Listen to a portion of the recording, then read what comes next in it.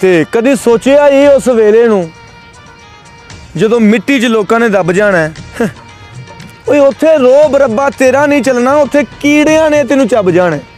ਸਦਰਾਂ, ਵਜ਼ੀਰਾਂ, ਮਸ਼ੀਰਾਂ ਨੇ, ਬਾਦਸ਼ਾਹਾਂ, ਸਿਕੰਦਰਾਂ ਸਭ ਜਾਣਾ ਮਨ ਰੱਬ ਦੀ,